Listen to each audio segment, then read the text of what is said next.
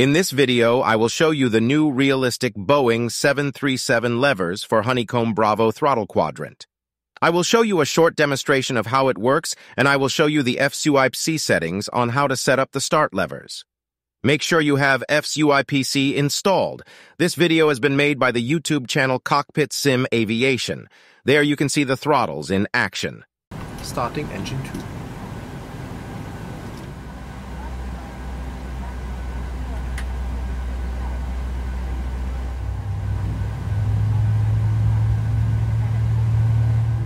Start engine 1.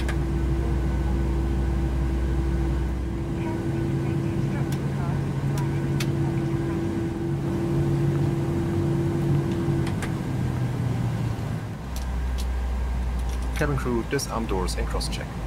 If you want to buy the product, you can check the link in the video description section.